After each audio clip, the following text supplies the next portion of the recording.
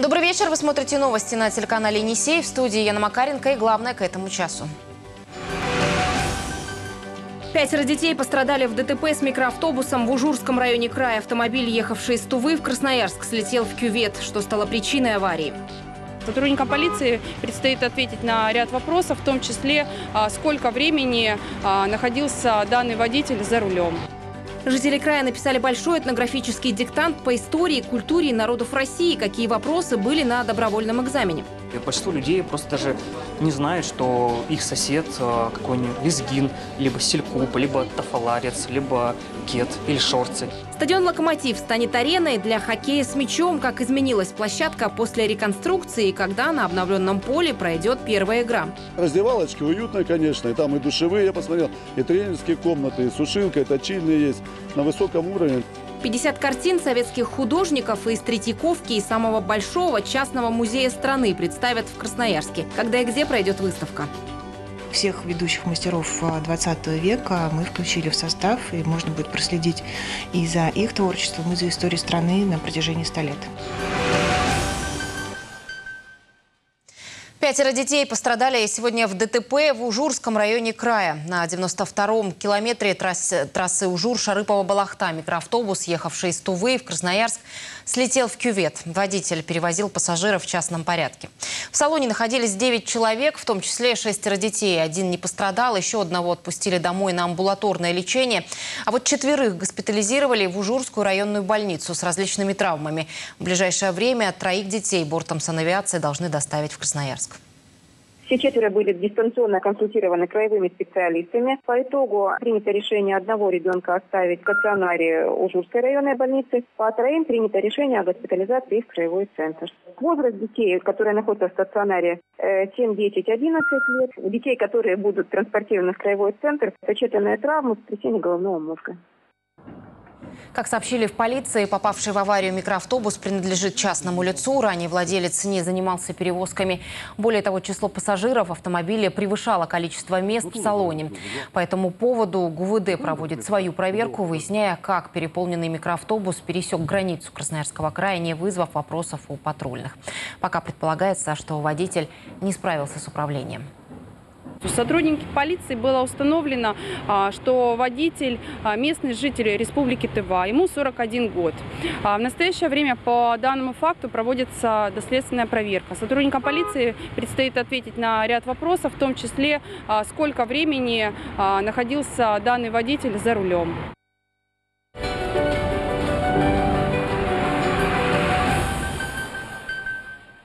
Сразу 11 улиц частично перекроют в центре Красноярска в эти выходные на время праздничных мероприятий, посвященных Дню народного единства и столетию революции. Об этом предупредили автоинспекторы. Уже сегодня с 10 вечера и до 4 дня субботы будет закрыт участок от Баграда, э, участок Баграда от Винбаума до Перенсона и проезд от Перенсона к гостинице «Красноярск». В понедельник с 6 утра и до полного окончания праздничных мероприятий недоступными для личного транспорта станут проспект Мира от декабристов до Винбаума и Карла Маркса от декабристов до диктатуры пролетариата. Между Маркса и Ленина автомобильное движение остановят по улицам Горького, Обороны, Дзержинского, диктатуры, Кирова и Перенсона. На стоянку на этом участке запретят еще 6 вечера воскресенья. Будут работать сотрудники госавтоинспекции, которые будут пресекать данные правонарушения, если они будут, вплоть до эвакуирования принудительного транспортных средств, задержания его с постановкой на специализированную стоянку. Объехать можно э, закрытые для движения участки уличной дорожности по улицам Ленина, улицам Дубровинского, улицам Баграда. Ну, также использовать улицы Республики, улицы Ады Лебедевой. Режим неблагоприятных метеоусловий в Краевом центре продлен до завтра из-за безветренной погоды. Сообщение об этом опубликовано на сайте Среднесибирского управления гидрометцентра. За последние сутки на горячую линию передвижной коллаборатории поступило более 60 звонков. Люди сообщали о плотной дымке и неприятном запахе. Эксперты произвели замеры воздуха во всех районах Красноярска и обнаружили умеренное превышение нормы диоксида азота. Этот газ образуется в результате сжигания любого топлива, например, угля или бензина. Если анализировать э, наши последние замеры, мы выезжали в Ленинский, Кировский, Советский, Октябрьский районы, а также в Центральном районе. А, Все превышения передаются в центральную лабораторию, где будут выписаны протоколы и переданы в отдел надзора для применения а, дальнейших мер. Завтра ситуация с, атмос- с атмосферным воздухом в Красноярске должна улучшиться. Синоптики обещают сильный ветер в центральных и южных районах края, который развеет дымку. Его порывы будут достигать 25 метров в секунду. Дело в том, что сегодня ночью мы уже ожидаем, что слабый восточный ветер сменится на юго-западный, причем он будет вчера, э, завтра в связи с прохождением холодного фронта достаточно сильным, поэтому город э, продует, возможно, не сразу, не во всех районах, но в течение дня завтра уже э, воздух города очистится. Ну и в продолжении темы экологии власти и красноярские общественники теперь будут вместе бороться за чистый воздух. Сегодня были подписаны соглашения о сотрудничестве между Министерством экологии края, Ассоциацией экологических расследований и региональным отделением партии «Зеленый». В документе прописано, как именно стороны будут обмениваться данными о загрязнении воздуха и несанкционированных выбросах предприятий. Это позволит быстрее находить виновных и привлекать их к ответственности. Ведь раньше властям приходилось перепроверять информацию общественников, тратить бюджетные деньги и делать повторные замеры. Если раньше эти показания чаще всего вообще никак не принимались, только для сведения, э, то теперь это уже будет материал для административного производства, с одной стороны. С другой стороны, если раньше кто-то сигнализировал о каком-то факте загрязнения и не требовалось подтверждения со стороны контролирующих органов, то есть была служба по контролю, то есть требовалось выезжать в государственные лаборатории, что-то там э, подтверждать, то сейчас это уже больше не требуется. В этом соглашении прописано, каким образом будут браться замеры, какими приборами, как они будут поступать в министерство, какие еще необходимы в протоколах, э, которые будут передаваться к нам, указаны данные для того, чтобы их не перепроверять. Мы будем сотрудничать с любой организацией, которая готова вместе с нами э, работать э, над улучшением экологии Красноярского края. Я планирую, что к этим соглашениям присоединятся и общественные организации других городов в Ачинске, в Канске, в Лесосибирске. Но еще одно важное нововведение. На сайте Министерства экологии заработала интерактивная карта предприятий, которые должны отчитываться перед контролирующими органами в период неблагоприятных метеоусловий. Зеленым цветом горят те, кто не имеет нарушений, красным те, в отношении которых работают сотрудники министерства. Погорельцы из «Стрелки» въехали в новые дома. Что осталось доделать строителям, расскажем далее в выпуске.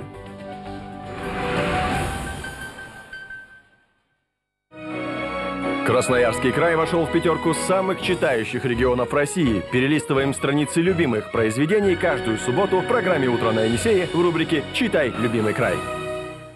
Партнер рубрики «Читай, любимый край» – сеть книжных магазинов «Читай город». Здесь книги находят людей. Внимание! В городе Бородино на площади ДК «Угольщик» российско-белорусская ярмарка «Надо брать доброе». Теплые вещи, мед, сувениры, восточные сладости, абхазские специи и многое другое. Только с 5 по 9 ноября с 10 до 19 часов.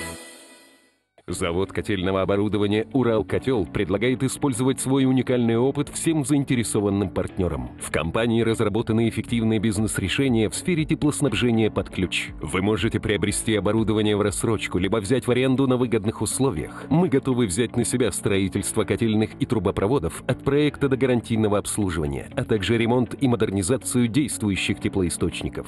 Качественное рентабельное теплоснабжение теперь доступно с компанией «Урал-Котел». Сенсация! Скоростной спутниковый интернет в России становится по-настоящему доступным. Сенсат – это стабильное надежное соединение и высокая скорость интернета до 45 мегабит в секунду. Сенсат – спутник безграничных возможностей. Фантазируя, мы делаем мир ярче. Копим бесценные моменты, удивляя. Пробуя, узнаем новые эмоции. Дарим свою любовь, заботясь о тех, кто нам дорог.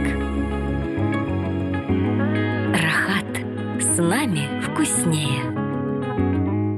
Настоящие унты из камуса оленя в магазинах Айхал. ТК на Свободном, первый этаж. ТК Квант, первый этаж. Телефон 272 96 76. Оптовый розничный склад «Радуга» на Лазо 12Д 20 лет успешно продает белье и трикотаж для всей семьи. Для индивидуальных предпринимателей особые цены и доставка. «Радуга» – огромный ассортимент в одном месте. И в этом наше преимущество. Усталость, боль, тяжесть в ногах, сдувшиеся вены, признаки варикоза. Но главная опасность для здоровья – образование тромбов. Современное и эффективное удаление варикоза за 40 минут в клинике лазерной хирургии варикоза нет. Бабушка не слышит ваших звонков. Она просто не слышит. Помогите своим родителям слышать без напряжения. Бесплатная консультация у специалистов по слуху «Аудионика». Когда смеситель меняли? Да уж, ровно три года. Надо менять. Любая сантехника долго не служит. Это прослужит. Водолеи брали. Спорим? Спорим? Жди. Даже не протекает. Мужской хор Сретенского монастыря. 20 ноября в Гранд-Холле «Сибирь». Справки 281 14 15. Магазин Истнова отмечает день рождения. Это событие станет праздником и для наших покупателей. В честь дня рождения 6 ноября мы проводим розыгрыш ценных подарков. Главный приз – норковая шуба. Чтобы стать участником розыгрыша 4, 5 и 6 ноября, приходите в Истнову за покупками. В эти дни все с праздничной скидкой 70%. Вы можете купить куртку или дубленку, любую шубу, и за каждый чек получите купоны участника.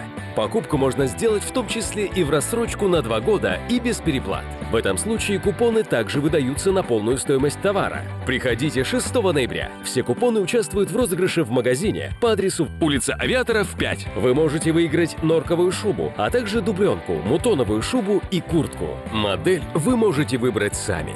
День рождения в Истнове. Праздник для вас. Истнова. ТЦ «Авиатор». Улица Авиаторов, 5.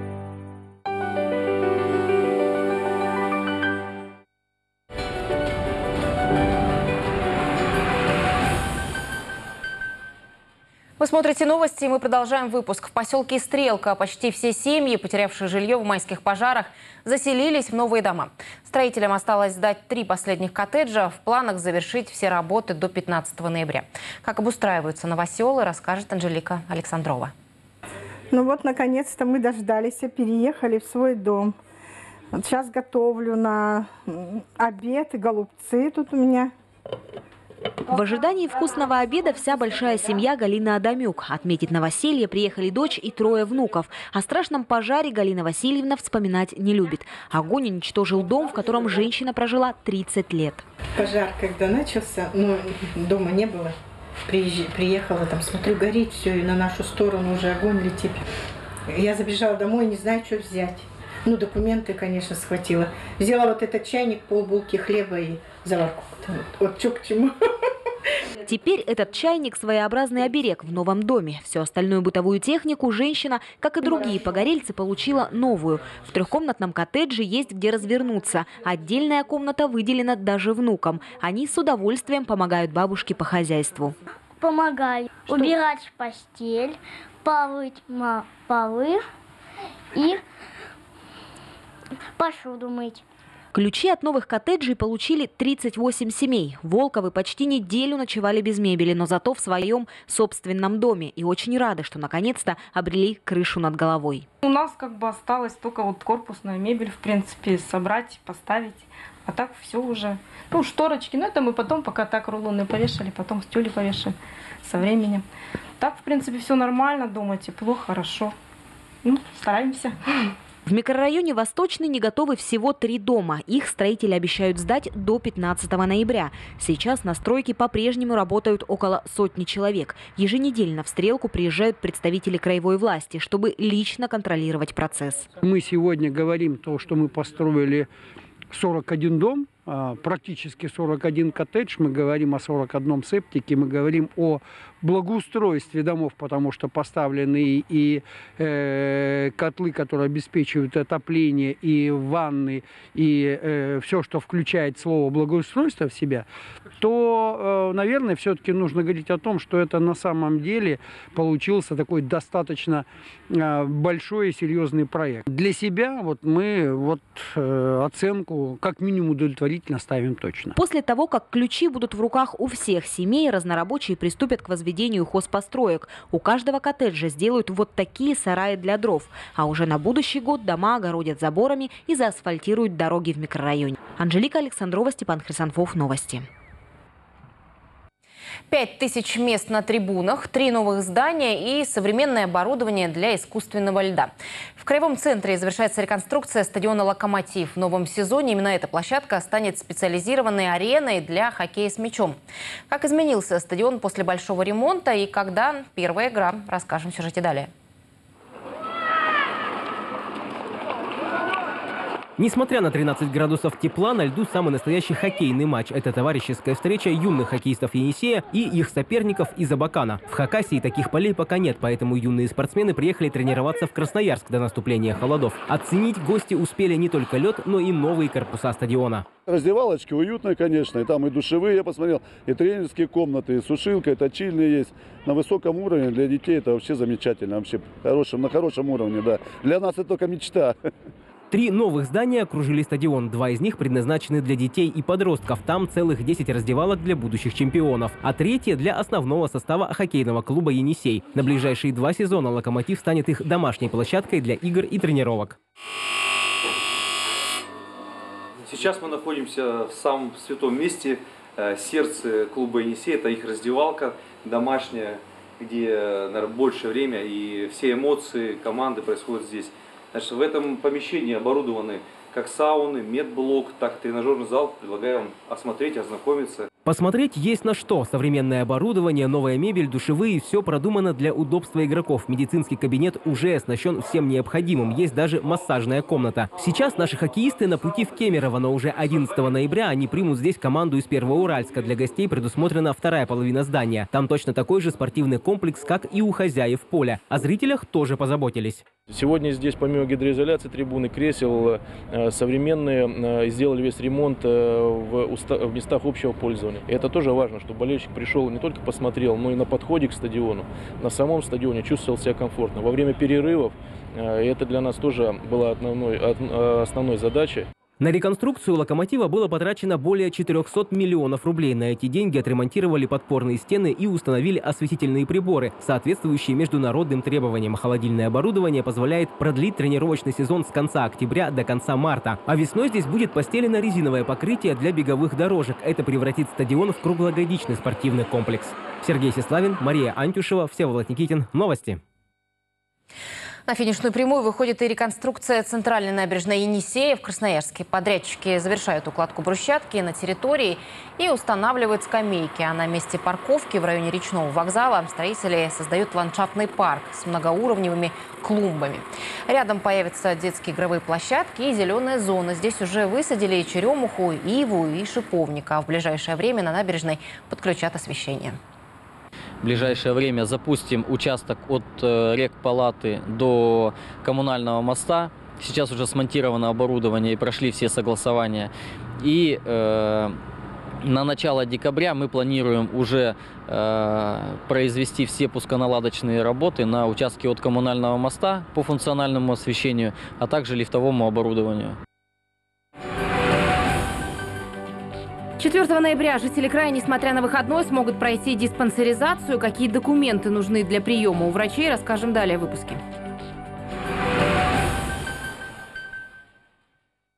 Деревенский творог. Он жирный. Преображение в реальном времени. Мы тратим по одному миллиону рублей. Они готовы к кардинальным изменениям. Смотрите третью серию телепроекта «Внешность на миллион» с 7 ноября. Только на телеканале «Енисей». Генеральные партнеры проекта – Красноярский центр пластической хирургии и поликлинической медицины, профессорская стоматология «Зубник», Центр врачебной косметологии «Медикал Групп». Что кредит это сложно. А у нас все просто 9. Ставка всего 9%. И оформить проще простого. Азиатско-Тихоокеанский банк. Разберется даже взрослый. Настоящие унты из камуса оленя в магазинах Айхал. ТК на Свободном, первый этаж. ТК Квант, первый этаж. Телефон 272 96 76. Меховой салончик объявляет акцию минус 50%. ЦУМ второй этаж. Родители, сколько сил они отдали нам. Пришло время позаботиться о них. Санатории Белокуриха, Сибирь и Катунь снижают цены на путевки для пенсионеров. Подарите родителям отдых, о котором они мечтают. Лазерная коррекция зрения, передовая технология Smile только в глазном центре Красноярска. Бесплатная консультация, операция 12 тысяч рублей. Глазной центр на Никитина 1В. Чтобы признаться своему питомцу в любви, слова не нужны. Наша марка. Ежедневный рацион для вашего питомца. Наша марка. Производится в России. Сенсация! Скоростной спутниковый интернет в России становится по-настоящему доступным. Сенсат – это стабильное надежное соединение и высокая скорость интернета до 45 мегабит в секунду. Сенсат – спутник безграничных возможностей. Авиакомпания Ир Аэро со 2 ноября открывает новое регулярное направление Красноярск-Магадан. Перелеты осуществляются на современном воздушном судне Суперджет 100. Нам зимой будет жарко. Где? На московской ярмарке верхней одежды. А что там? Пуховики. Теплые и стильные, яркие и модные, а цены еще и доступны. Мы готовы к морозам. Московская ярмарка верхней одежды. ТЦ «Авиатор» и магазин «Ермак» на Матросова, 18. Хотели накопить на квартиру, а заработали еще и на машину. Можно просто копить, а можно копить, зарабатывая. КПК «Регион Сибирь». Ваши сбережения на вас работают. 249 69. Комплексное оснащение предприятия общественного питания, профессиональное оборудование, посуда, кухонный инвентарь и униформа для персонала. Склад Супермаркет Экспресс, Красноярск, улица Дудинская, 1, строение 1 и Вавилова 1, строение 51. Онлайн-заказ на сайте экспресс-посуда.ру. Вы уверены, что ваша пенсия рассчитана верно? У каждого третьего обратившегося к нам пенсионера выявлены нарушения в расчете пенсии. Чаще всего не учтен весь стаж и неправильно применены коэффициенты. Позвоните по телефону, указанному на экране, и узнайте о возможности увеличения вашей пенсии. Юридическая служба «Единый центр защиты». И снова празднует день рождения. Только с 4 по 6 ноября скидка на все 70% и розыгрыш норковой шубы. Улица Авиаторов 5.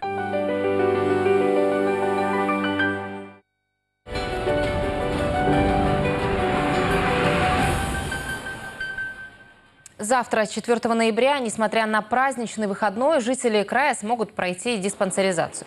Поликлиники будут работать с 8 утра и до 2 часов дня. В этом году обследование проходят взрослые люди, чей возраст кратен трем, начиная с 21 года.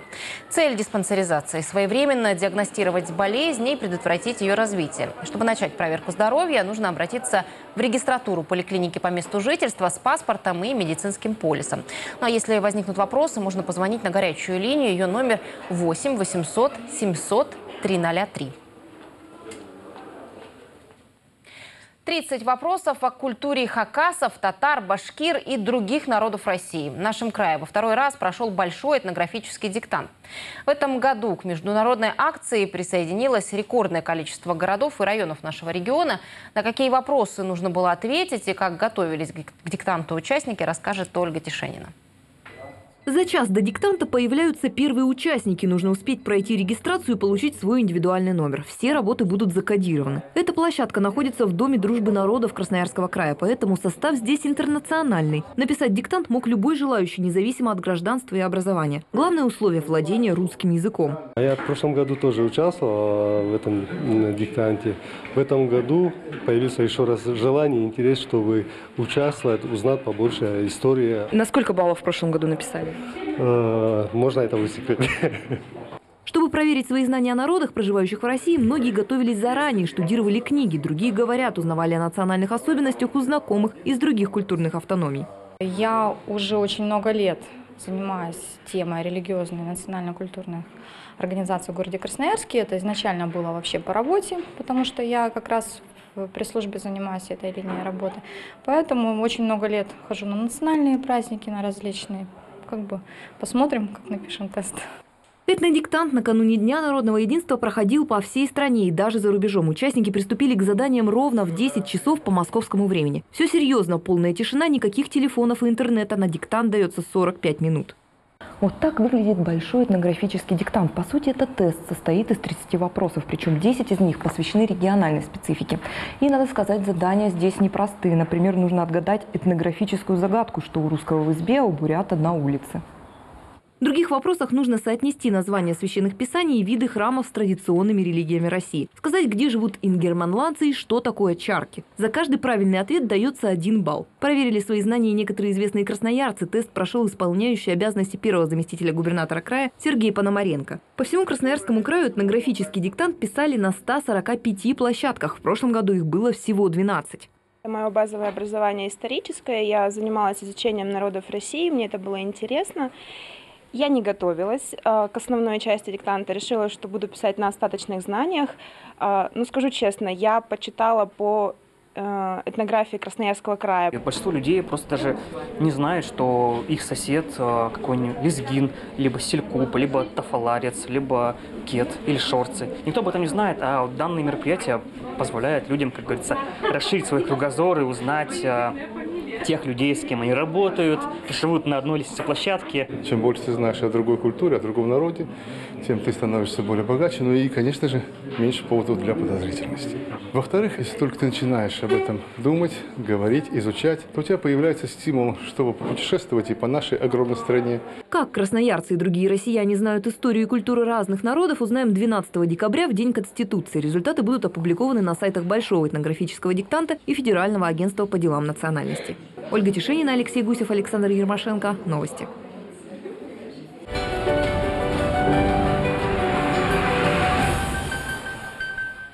Красноярская ГЭС сегодня отмечает свое 50-летие. 3 ноября, полвека назад, был запущен первый блок станции. Как сейчас работает вторая по мощности плотина в России и какие у нее перспективы, в сюжете далее.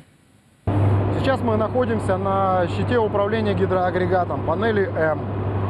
Здесь собрано полностью управление, измерение, защиты агрегата. Можно сказать, что это сердце, мозг гидроагрегата. Здесь, в сердце машинного зала, тишина почти идеальная, если не обращать внимания на урчание гидроагрегатов. Сотрудников немного, и это как раз норма, значит на станции все идет слаженно и без перебоев. Работу ГЭС поддерживают несколько цехов, в их числе турбины, электро- и гидроцеха. Чтобы все это работало круглые сутки, создана оперативная служба. Каждую секунду на смене находятся 9 человек. Они обслуживают все объекты на Красноярской ГЭС, меняя друг друга непрерывно вот уже полвека. Когда вводилась станция, э, то есть в ноябре 67-го, смена была 20 человек. Потом по мере автоматизации, обновления оборудования сокращалось, сокращалось. То есть сейчас мы вышли на количество, когда ну, меньше не, невозможно.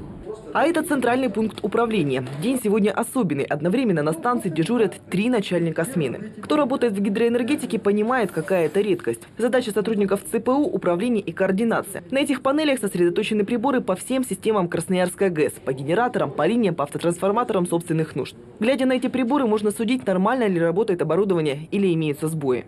Напряжение здесь, особенно в момент каких-то, если аварийных ситуаций, на самом деле значительно больше, потому что самое тяжелое это ждать. То есть отдал команду и ждешь, выполнили, не выполнили, когда выполнили, как выполнили. А может быть там что-то случилось, а ты об этом не знаешь. Вот самое сложное это ждать. К счастью, за полвека работы серьезных аварий на Красноярской ГЭС не наблюдалось. Сейчас это современное предприятие, один из лидеров энергетической отрасли страны. При этом на станции постоянно думают о перспективах, непрерывно решая сразу несколько задач, связанных и с развитием оборудования, и с развитием персонала, и с улучшением экологической ситуации. Уже много лет на ГЭС проходят добровольную сертификацию международных аудиторов, которые подтверждают, что система управления и технологические процессы на предприятии соответствуют требованиям международного экологического стандарта. Выявляются существенные экологические экологические аспекты, выявляются факторы на них влияющие и нивелируется уже влияние. Допустим, если мы сейчас у нас два главных проекта, касающихся замены главных трансформаторов, например, главные трансформаторы у нас, а, вот мы сейчас автотрансформаторы, правда, заменили, в них меньше масла. То есть снижается риск воздействия масла на окружающую природную среду, на всю, на воздух, на природу, на, а, на почву, на воду таким подходом и стремлением к развитию Красноярская ГЭС уже давно стала опорной точкой для развития производств, индустриализации Красноярска и центральных районов края. За 50 лет изменились производства, ну, многих заводов не стало, появились новые заводы, новые виды продукции, новые технологии. И мы, соответственно, должны соответствовать этому же времени. Должны вырабатывать электроэнергию по тем требованиям, по тем нормам, которые требуются уже новому производству. Собственник э, Красноярской ГЭС, э, ПАО Евросиб Энерго э, ведет крупную инвестиционную программу по модернизации Красноярской ГЭС. При этом Работа идет параллельно, то есть станция работает, э, вырабатывает ежегодно более 18 миллиардов киловатт-час из 69-70 э, миллиардов, которые ежегодно вырабатываются э, на территории Красноярского края. Сейчас модернизация на ГЭС находится в завершающей стадии. Осталось заменить рабочие колеса гидрогенераторов. Оборудование уже доставлено на станцию и в ближайшем будущем будет смонтировано. Алина Штоколова, Алексей Гусев. Новости.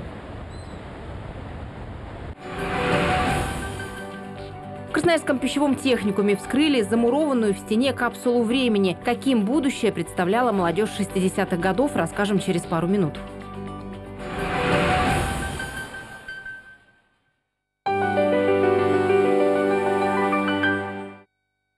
Внимание! В городе Бородино на площади ДК «Угольщик» российско-белорусская ярмарка «Надо брать доброе». Теплые вещи, мед, сувениры, восточные сладости, абхазские специи и многое другое. Только с 5 по 9 ноября с 10 до 19 часов.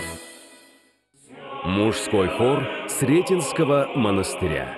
20 ноября в Гранд-Холле «Сибирь». Справки 281 14 15.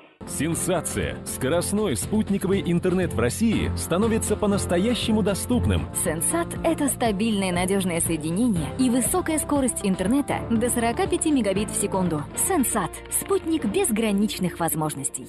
Оптовый розничный склад «Радуга» на Лазо 12Д 20 лет успешно продает белье и трикотаж для всей семьи. Для индивидуальных предпринимателей особые цены и доставка. «Радуга» – огромный ассортимент в одном месте. И в этом наше преимущество преимущества. Лазерная коррекция зрения, передовая технология Smile только в глазном центре Красноярска.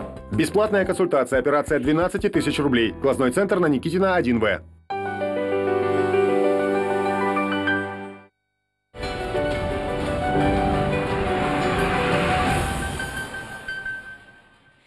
Красноярске вскрыли так называемую капсулу времени, из которой извлекли письмо потомкам. В 1967 году его замуровали в стену пищевого техникума накануне 50-летия революции. Некоторые из тех, кто тогда составлял это послание, были и на церемонии сегодня. Каким представляла наше время молодежь полвека назад, расскажет Сергей Сеславин. В актовом зале техникума атмосфера революционного октября, красные знамена и флаги советских республик. Перед сценой взволнованные люди все ждут, когда извлекут заветное письмо, хранившееся в стене полвека. Зинаида Шевченко – одна из тех, кто присутствовал на торжественной церемонии 50 лет назад, когда это послание было оставлено. Вот я и думала, что будет э, все автоматизировано. Э, про механизацию уже было, думаю, будет в прошлом все это. А вот именно автоматизация и вот эти компьютеры, мы даже чуть-чуть представление о них имели, видели так издалека. И вот все-таки вот эта цифровая технология у нас уже в мозгах тогда присутствовала.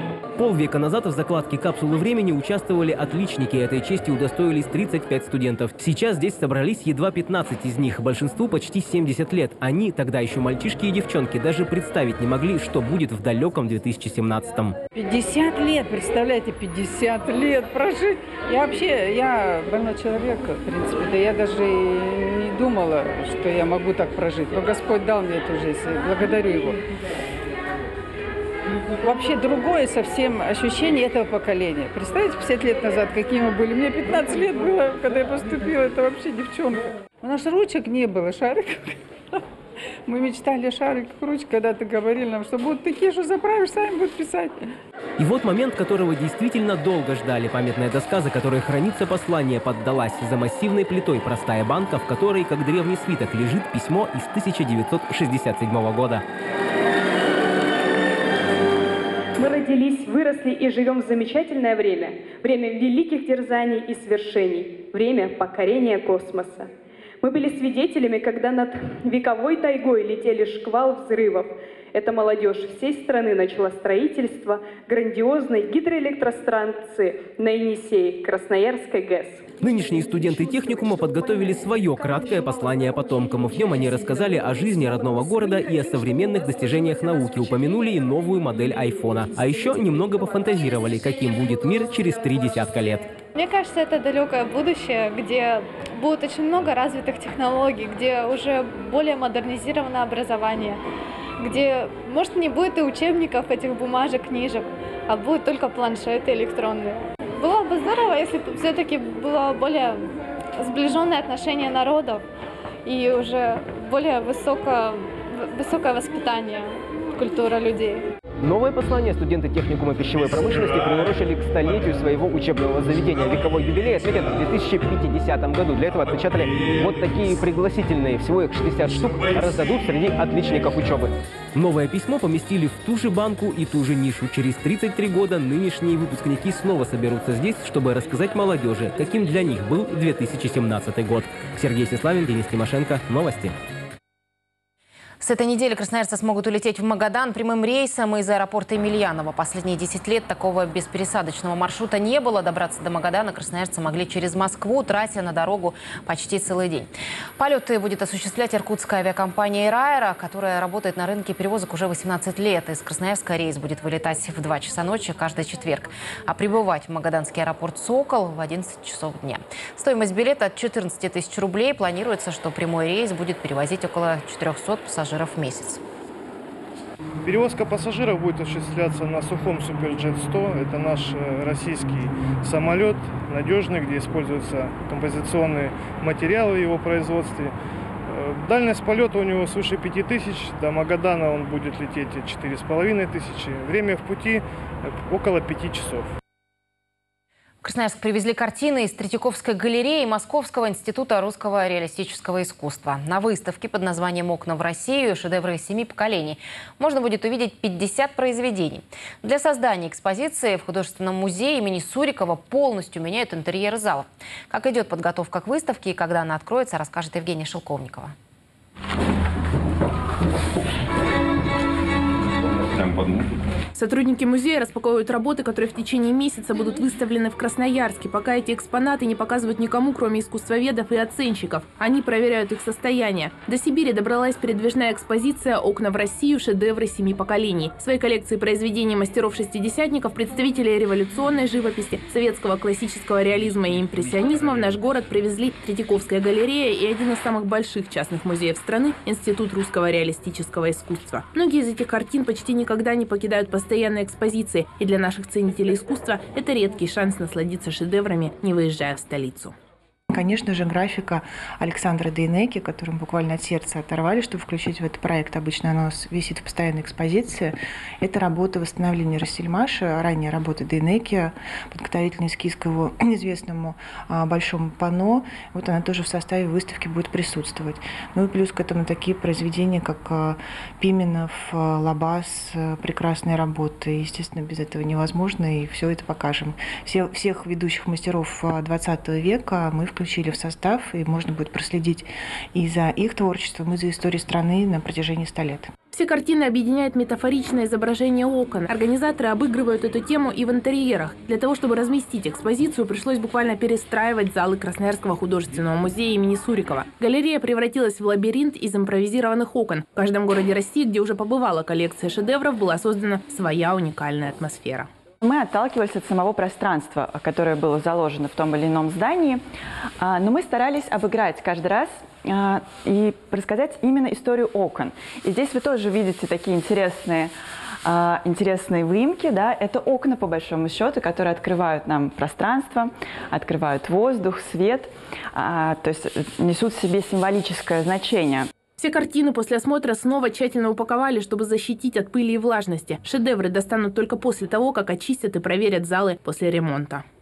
В этих ящиках специальный микроклимат с температурой 21 градус по Цельсию. Именно такие условия считаются наиболее комфортными для хранения картин. Произведения должны отстояться в ящиках минимум сутки, и только потом они вывешиваются на стены. Причем температура в зале также должна поддерживаться на уровне 21 градуса. Это строгое требование всех серьезных галерей. Выставка откроется на следующей неделе. Она будет работать с 8 ноября по 10 декабря. Посетителей также ждут мастер-классы и лекции от сотрудников Третьяковки и Института русского реалистического искусства. Вход бесплатный. Евгения Шелковникова, Александр Ермашенко. Новости. И к этому часу это все сообщения. Далее еще блок полезной информации, прогноз погоды на завтра. Если у вас есть новости, звоните по телефону 236 0136. Комментарии к сюжетам оставляйте на сайте енисей.тв.